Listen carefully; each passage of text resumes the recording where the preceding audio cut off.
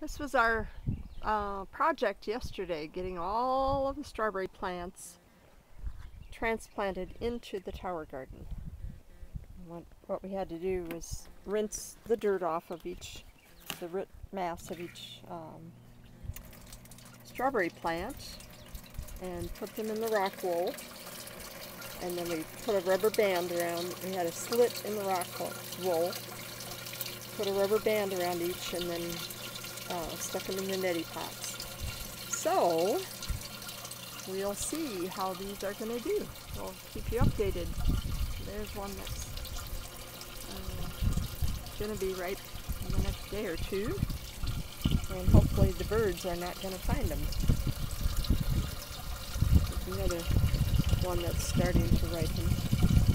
So some of these in the little bitty pots that they had already outgrown developed some very tiny little, very seedy strawberries, which aren't going to be very good. But hopefully these in the uh, tower garden are going to be great. This is, uh, that's what I'm hoping. And I'll keep you updated.